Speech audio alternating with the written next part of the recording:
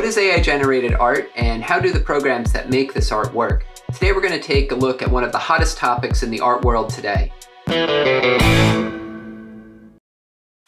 Welcome to my channel. If you're new here, my name is Evan Reinheimer and I'm an artist. My channel here is a mix of helpful videos for artists and videos about my travels both to create and sell my artwork. If you're alive, chances are you've heard a lot about artificial intelligence being able to generate art lately. These software programs are able to generate images of just about anything, all by having a user type in a couple of words into a prompt.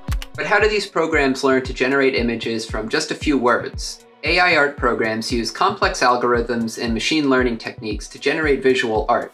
These programs are typically designed to analyze patterns and features in existing images, and then use that information to create new images combining different styles and themes. One of the most common techniques used by AI art programs is something called neural style transfer. This involves analyzing a source image and a style image, and then using that information to create a new image that combines patterns and features found from both images. AI art programs can also use something called Generative Adversarial Networks, or GANs, to generate images. GANs involve two different neural networks that work together to create images.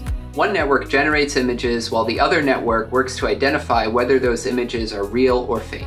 Over time, the two networks learn from each other and become better at generating realistic images. AI art programs learn through a trial and error process. If the image they generate is successful, they'll use that information as a reference for future images. This means that AI programs can create new images based on a specific style or theme such as a particular artist's style, a specific type or object, or a specific color scheme. Basically, AI art programs are fed tons of images by programmers that it then analyzes and learns to imitate what it has seen when given a prompt by a user. But where do these programmers get their images that they use for this machine learning? This has been the source of a lot of controversy lately. Many AI art programs have not been transparent with the source of their images, or they've just scraped the internet for images.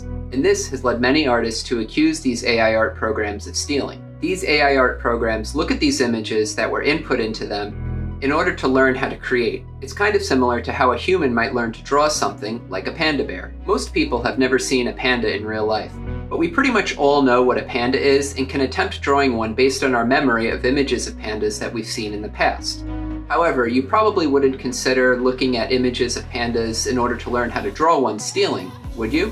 But when it comes to AI, the concept of stealing feels very different, right? I was recently invited to test an early beta version of Adobe Firefly, Adobe's new AI art generator. So of course, I asked it to generate an image of a surfing panda flying a kite with an elephant on it. And it came out a little wonky looking, and for some reason, there's an elephant that's just floating up in the sky by itself. But I'm sure in time this is going to get better, and it was pretty fun to play with and pretty amazing what it can do just by having a few words typed into it. There's also going to be a lot of other features in Firefly other than the art generator that will be useful for photographers like myself that weren't available yet in the version I used.